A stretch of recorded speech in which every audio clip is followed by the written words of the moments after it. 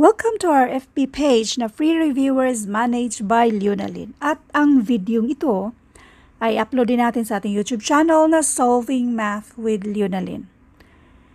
Now, ang tanong ay how to find the greatest common factor of 8, 12, and 40 at yung least common multiple nito merong nagtanong lang at hindi ko i-reveal kung sino at saan ko ito nakuha yung tanong na ito. Now, para sa pinakadetali kung paano hanapin yung greatest common factor at least common multiple, mas magandang i-search nyo ito at idugtong lang yung Lunalyn para mas madaling ma-sort out yung dati na nating na-upload regarding sa paghahanap ng greatest common factor at yung least common multiple. So, isulat na natin itong 8, 12, at 40. Yung greatest common factor nito. Ang hanapin mo lang, ang titingnan mo lang pala dito sa tatlo ay yung may pinakamaliit na value which is yung 8.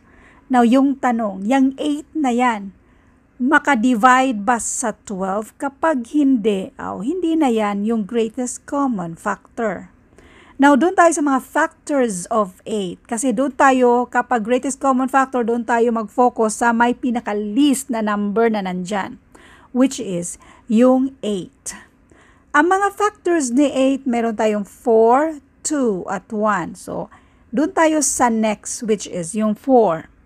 Si 4, makadivide siya sa 12, makadivide din siya sa 40.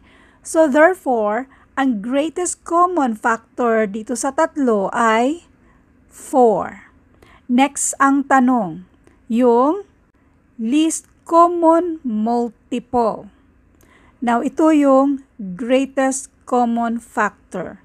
Now, doon naman sa least common multiple dito sa 8, 12, 40, dito naman tayo titingin sa may pinaka malaking value para maghanapin natin yung least common multiple. Now, ang tanong, si 40 ma-divide ba sa 12? Kapag ang sagot ay hindi, so hindi yan yung least common multiple natin.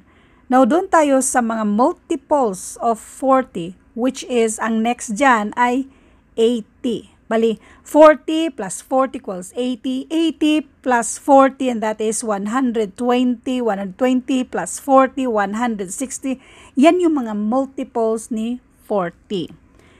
So, itong si 80, ma-divide siya sa 8 pero makadivide ba siya sa ma-divide ba siya kay 12? Hindi. So, hindi yan yung mismong least common multiple natin. Next, 120. Si 120 ay obviously ma-divide ni 12 at ma-divide din yan ni 8. So therefore, ang sagot dito, yung least common multiple natin ay itong 120. Now, bigyan ko kayo ng konting detalye kung paano hanapin yung mismong greatest common factor at least common multiple na ganito yung gagawin natin. I-divide natin ang 2, doon tayo sa pinaka-least.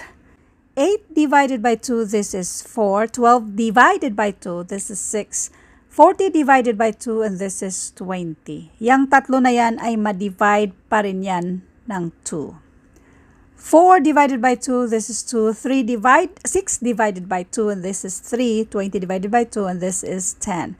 So itong 3 na to, dahil dyan, wala na tayong ma-divide dyan, maliban lang sa 1. So therefore, yung greatest common factor natin ay 2 times 2.